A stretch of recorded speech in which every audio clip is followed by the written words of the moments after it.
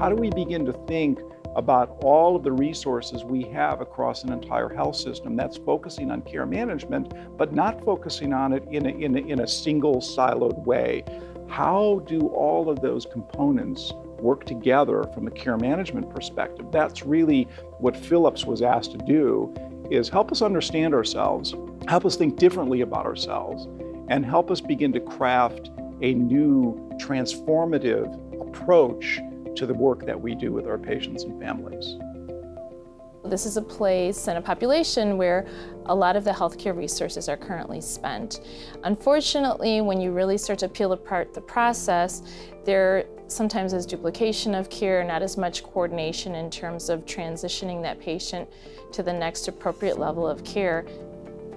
The unique approach that Philips brought to us at AMITA was really um, around their co-create process which allows for members of the team, or members of many different teams actually, to come together and not only design the optimal patient experience, but design their role within that experience.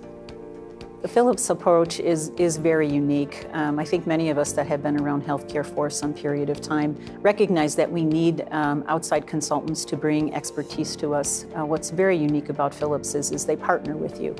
One of the things that attracted us to Philips originally was their technique of empathic design, of using our own internal content experts um, to develop um, what needed to be done.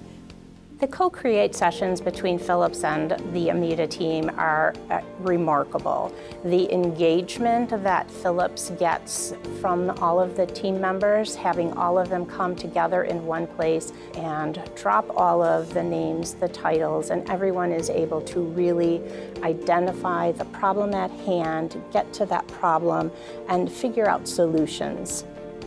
The staff is taking ownership of this process because we were the ones who created it from the ground up.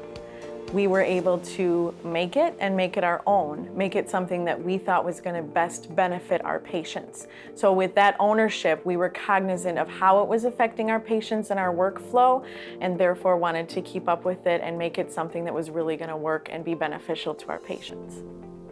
Many times people have not had a voice in helping people with care. They've had a one way, do this particular deed for this person or do this, but yet they've not had a voice. And I think every voice of people who take care of patients is an important voice. What has happened with the Philips program is we've seen patients um, get more intensive care and more focused care, and the patients are more satisfied. They feel like they're cared for. And so it isn't really about just tweaking an operation or somehow enhancing what you have, but it's really me reimagining and re-engineering the processes in such a way that you're building a transformative environment for the long term.